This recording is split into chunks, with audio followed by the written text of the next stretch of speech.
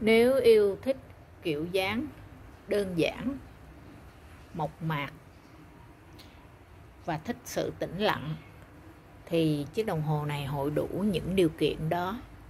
Đây, Citizen, kim trôi. Kim trôi mượt mà luôn. Số nổi.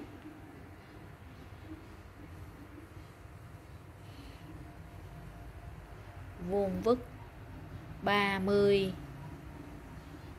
31 29 và dáng gỗ dày 8 cm với hoa văn đẹp. Một chút cách điệu khiến cho đồng hồ đẹp một cách đơn giản mà sang trọng. Đây số nổi kim trôi. Sử dụng một pin trung. Máy nhật đây ạ sử dụng một pin trung. Cái chốt đỏ này á, là để khi mình gắn pin vào á mình kích.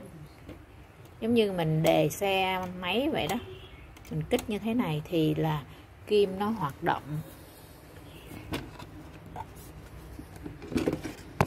Còn ở dưới này là cái chốt để mình chỉnh giờ á, kéo chỉnh giờ như thế này.